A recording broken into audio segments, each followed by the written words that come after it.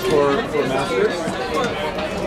Um, so it's on Friday, right? I haven't looked at the schedule.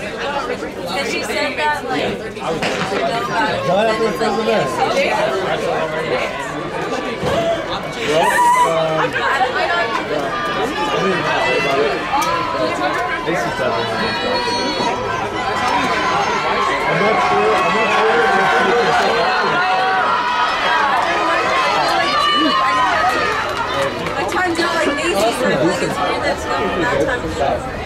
If I were to check, I'd be checking my watch.